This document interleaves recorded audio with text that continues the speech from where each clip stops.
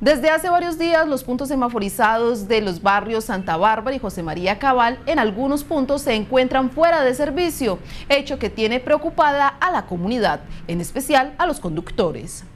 El punto semaforizado del barrio Santa Bárbara desde hace varios días se encuentra apagado, lo que ha generado entre los conductores algunas molestias, debido a que en varias ocasiones se han presentado congestiones. Lo mismo ocurre en el sector de la carrera 14 con calle Octava Esquina, el cual se encuentra intermitente.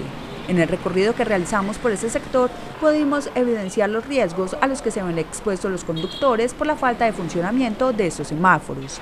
Tratamos de comunicarnos con la persona encargada de la Secretaría de Movilidad de Buga para abordar este tema, pero no fue posible.